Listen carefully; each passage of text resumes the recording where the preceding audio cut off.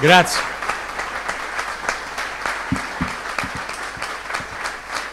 Grazie, grazie caro Presidente,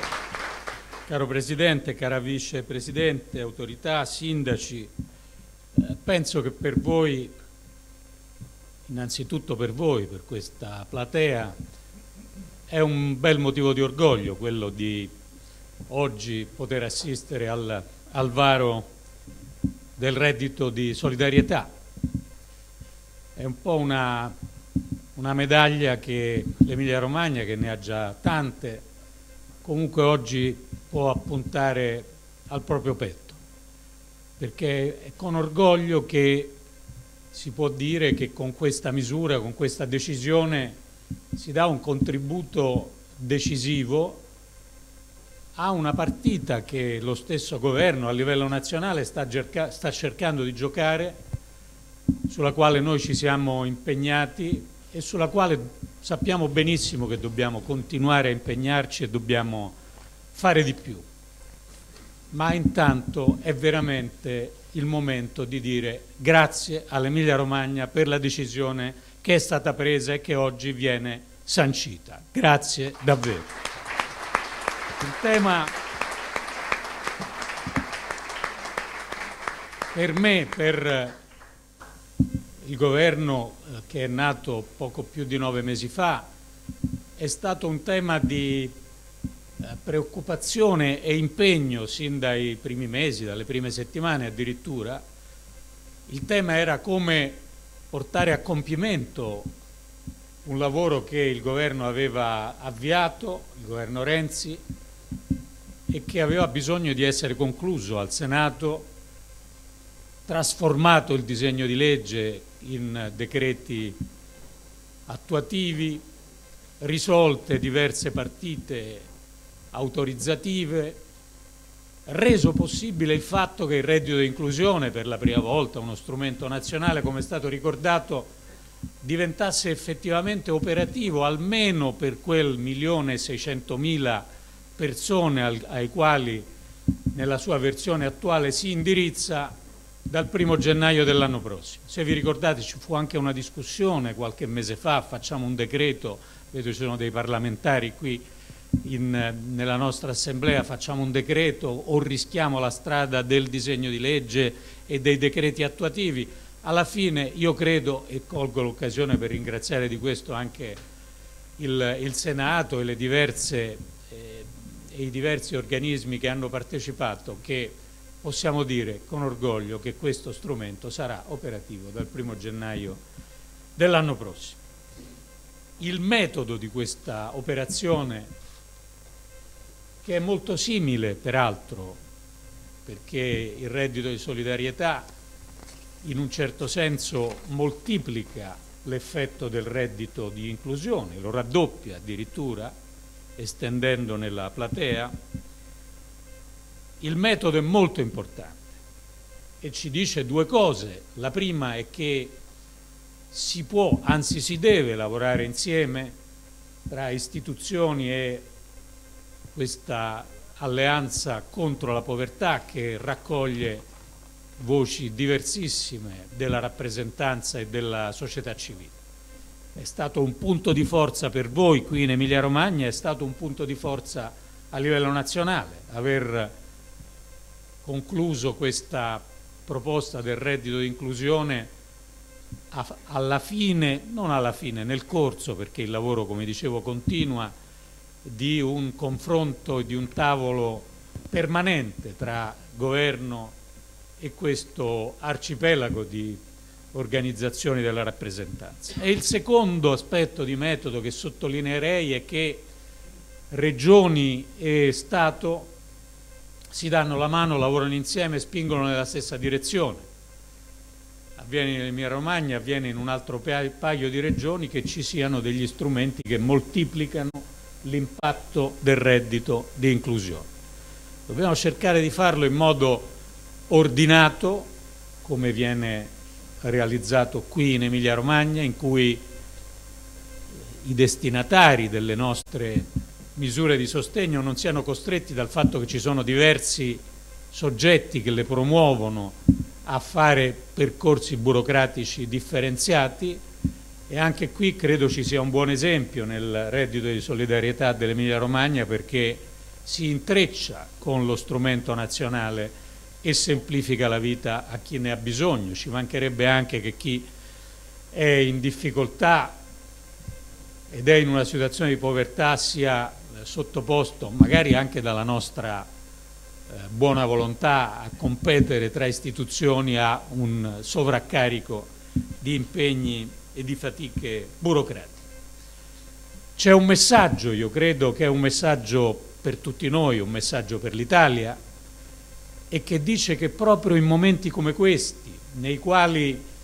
si intravede finalmente un certo ottimismo circa la nostra situazione economica,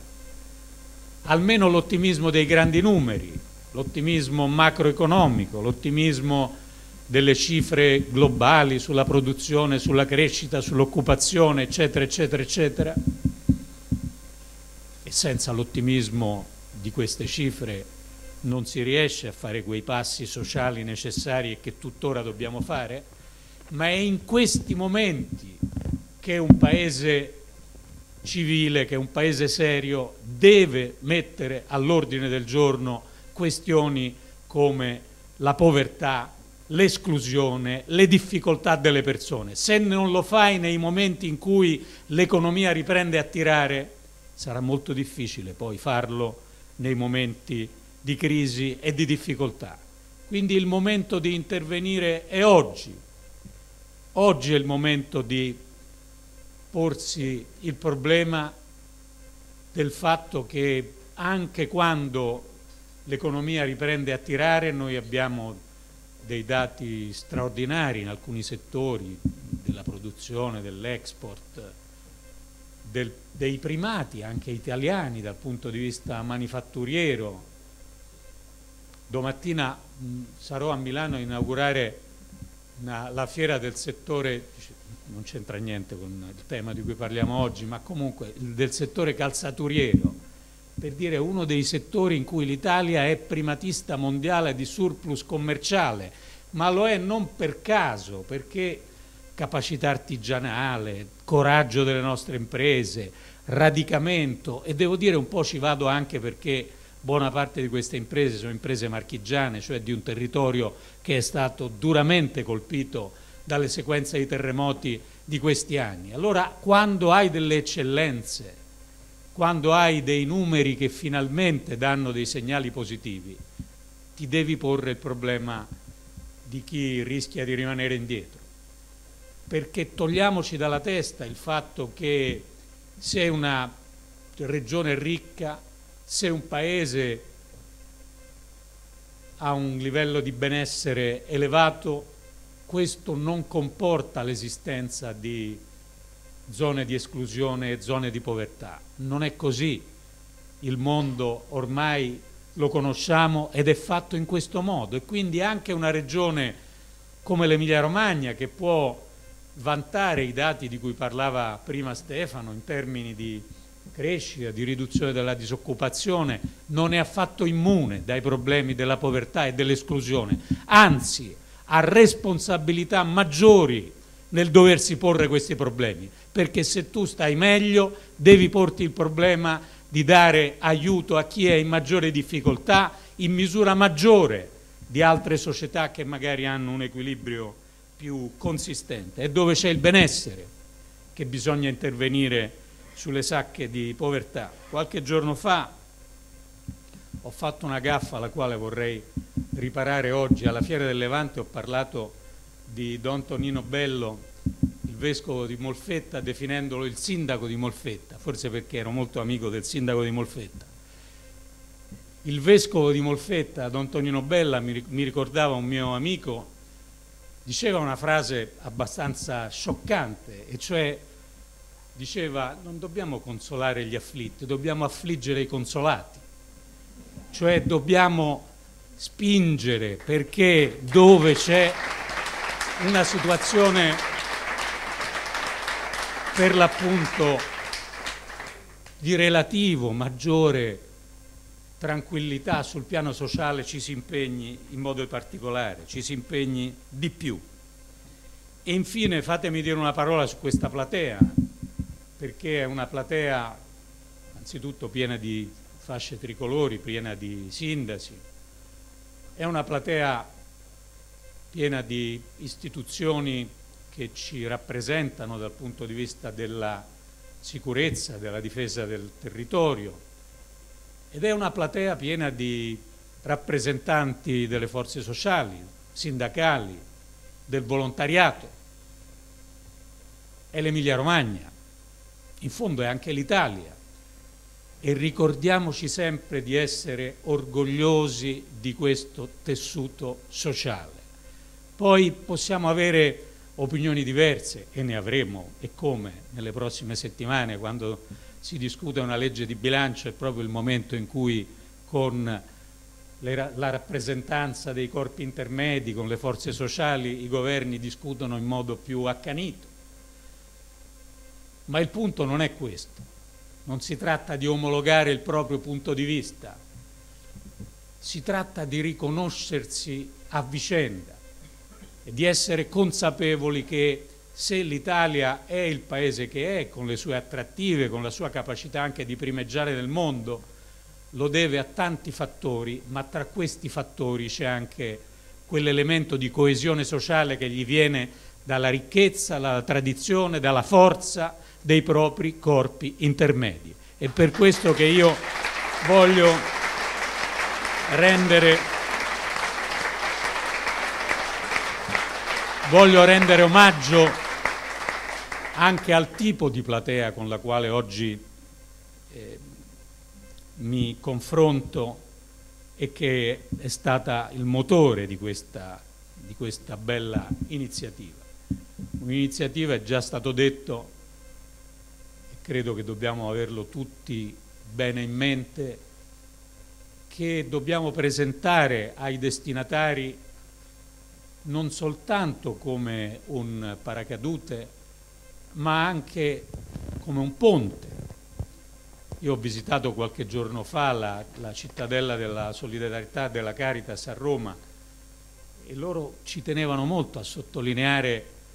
che facevano ogni sforzo, poi magari non sempre ci riuscivano con tutti, ma comunque per affermare la transitorietà dei passaggi in, eh, in quelle strutture. Noi dobbiamo essere consapevoli che anche questo è un impegno fondamentale sia del reddito di inclusione che del reddito di solidarietà. Sono forme di sostegno che devono venire incontro alle persone più in difficoltà,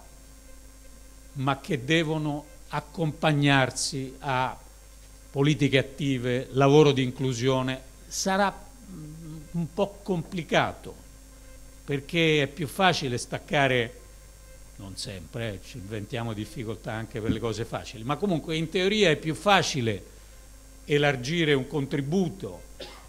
che non associare a questo contributo una politica di inclusione. Però dobbiamo sapere che se non facciamo anche la seconda parte, facciamo solo una metà del nostro lavoro e che la seconda parte è forse importante altrettanto della prima. Quindi reddito di solidarietà,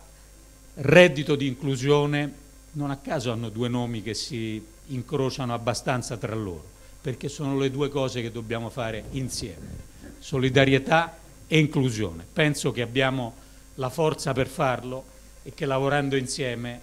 il governo, lo Stato, la Regione Emilia-Romagna, le autorità locali, il terzo settore, il volontariato, le forze sindacali a questo obiettivo così bello e così ambizioso possiamo effettivamente puntare. Grazie.